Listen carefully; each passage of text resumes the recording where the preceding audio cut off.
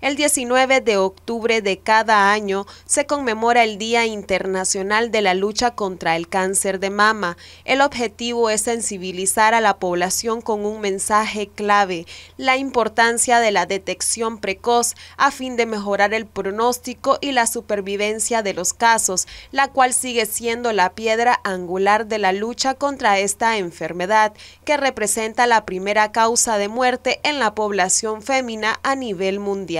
Esta tarde lo que se ha hecho es el lanzamiento de un año más de la carrera rosa, yo corro por ella. ¿Cuándo va a ser la carrera rosa en Nicaragua? Va a ser este domingo 22 de octubre a partir de las 6 de la mañana.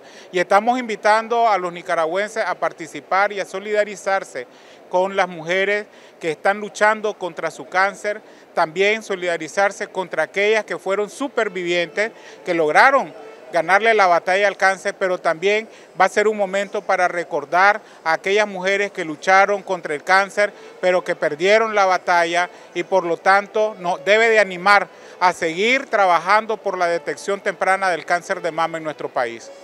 La detección temprana, el diagnóstico adecuado y el tratamiento oportuno son claves para que las mujeres con cáncer de mama obtengan mejores resultados de salud. Mi nombre es Eda María Pineda Martínez, tengo 48 años de edad. Eh, hace nueve años fui diagnosticada con cáncer de mama. Eh, pues cuando me lo diagnosticaron fue una noticia terrible, ¿verdad? Eh, tanto para mí como para toda mi familia y bueno, recibí, me hicieron tantos, tantos exámenes, mamografías, ultrasonido y en biopsia. Me hicieron tres biopsias, dos por aguja fina y un trucut.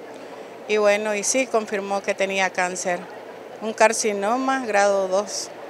Y en, en el primer ciclo y en el segundo ciclo de quimioterapia, yo pensé que iba a perder la batalla porque yo dije, ya no la puedo lograr porque estaba en agonía, pero llegó mi hijo chiquito y me dijo, mamita, mamita, despertar no me dejes, yo te necesito, luchar mamita, y ahí fue cuando volví y yo dije voy a luchar. Y insto a todas esas mujeres, ¿verdad?, que se chequeen a tiempo, que un diagnóstico temprano les salva la vida y le doy las gracias a Dios porque me tiene aquí, ¿verdad? Para seguir apoyando con un granito de arena a todas esas mujeres que están pasando por ese proceso que es terrible, duro, yo las comprendo, pero tienen que agarrarse de la mano de Dios y salir adelante, así como salí yo, yo sé que lo van a lograr.